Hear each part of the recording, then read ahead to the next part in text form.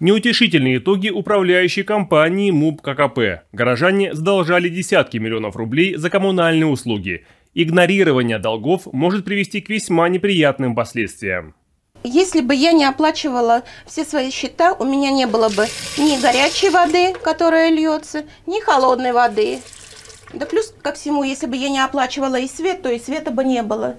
Жительница Десногорска Татьяна придерживается простой бытовой философии. Пришла квитанция, надо оплатить. Если проигнорировать, в следующем месяце будет в два раза сложнее. В том, что финансовая самодисциплина в итоге сбережет не только деньги, но и нервы, согласна и ее соседка Валентина. Долги копятся, э, суммы большие, потом э, труднее их возвращать. А поэтому может еще дойти до судебных разбирательств. По умыслу или ввиду жизненной ситуации, но в долговой яме находятся сотни десногорцев. Общая сумма задолженности жителей перед МУП ККП составляет свыше 90 миллионов рублей. Понимая, что год выдался непростым, методы воздействия на должников выбирают соответствующие. Мы два раза в месяц вывешиваем номера квартир, которые имеются задолженности.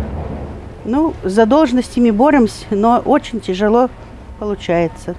При накоплении суммы долга за более чем три месяца и неэффективности других мер воздействия коммунальщики приступают к взысканию по суду. Это может привести к аресту денег на личном счете должника или к описи личного имущества. Когда же желание оплатить долги есть, но нет возможности, можно обратиться с заявлением о реструктуризации или рассрочке платежа. Лицам, имеющим низкую заработную плату, ну, ККП предлагает заключить соглашение о рассрочке платежа, обратиться за оформлением соответствующей субсидии. Также имеется возможность заключения трудового договора с условием отработки имеющейся задолженности. Получается, что при желании возможности оплатить долг найти можно, а каким образом, добровольно или по решению суда, каждый решает сам. Олег Соловьев, Владислав Полоскин, Александр Ерофеев, Десна ТВ.